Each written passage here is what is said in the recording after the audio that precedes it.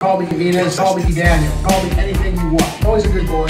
You can't touch this. I make a difference in five minutes. Give me any number. You can't touch this. I see a lot of people and I'm plundering the strong man's house. You give me a few more minutes. I just want to bless the Lord. I had another sermon I was going to preach. That's my life. So I have a story for you. My wife always makes me look good. She you can't touch this. It's about him, it's not about me.